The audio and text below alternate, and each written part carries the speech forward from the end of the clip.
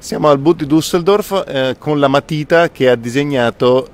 gli Invictus. A bordo del 280CX siamo con Christian Grande.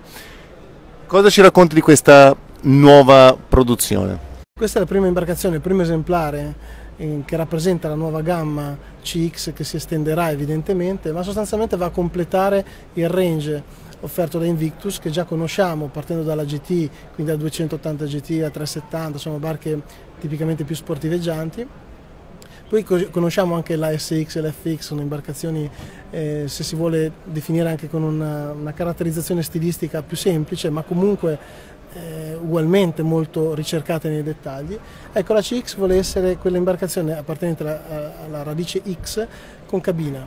Una barca quindi dove la C si intende cabin e racchiude in effetti un, uno spazio importante in sottocoperta, troviamo un bagno abitabile, troviamo un, un letto trasformabile, un bel mobile bar con, con, con, frigorifero.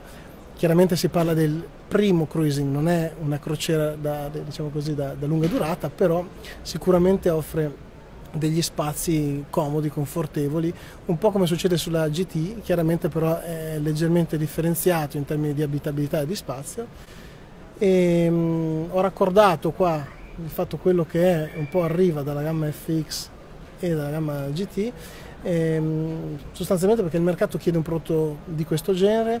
con uh, sempre molta attenzione al dettaglio, ai cromatismi, diciamo, è molto evidente quello che io definisco, che forse è percepibile, eh, Italian style, e, mm, lo, si, lo, si, riconosce proprio da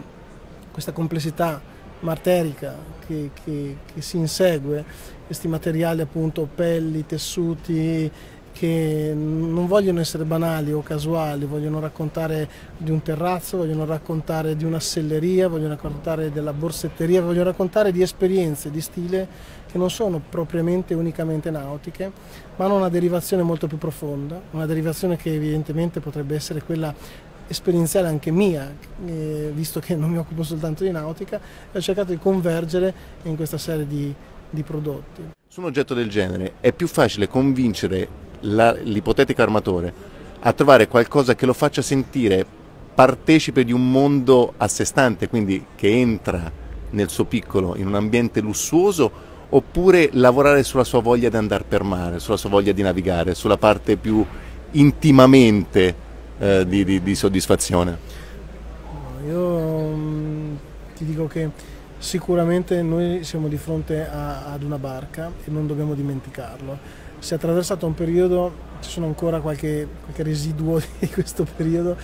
progetti dove la barca era dimenticata, la barca era talmente icona eh, che bastava averla e doveva essere strana per stupire.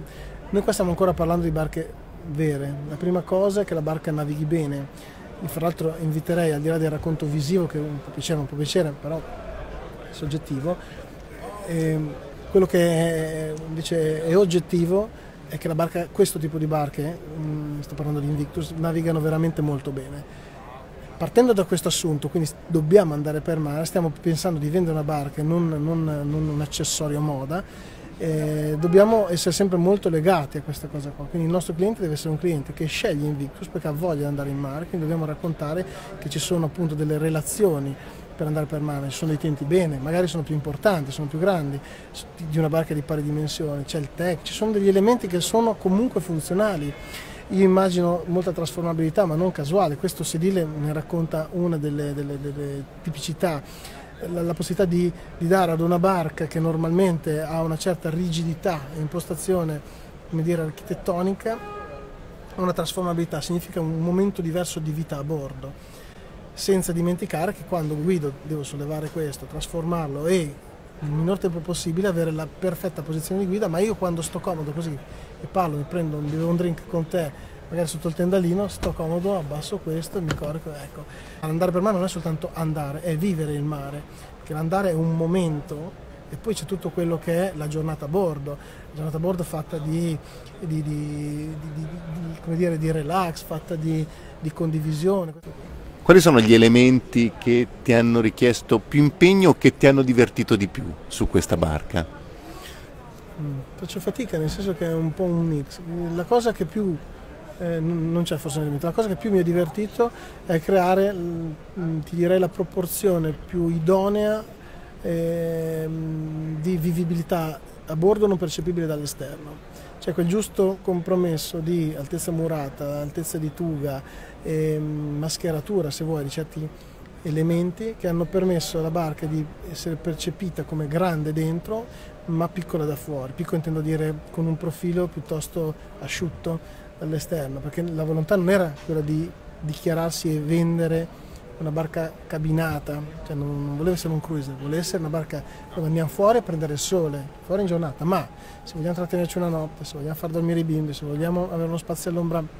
coperto, una bella toilette indipendente, ecco posso fruire di questo spazio quasi segretamente.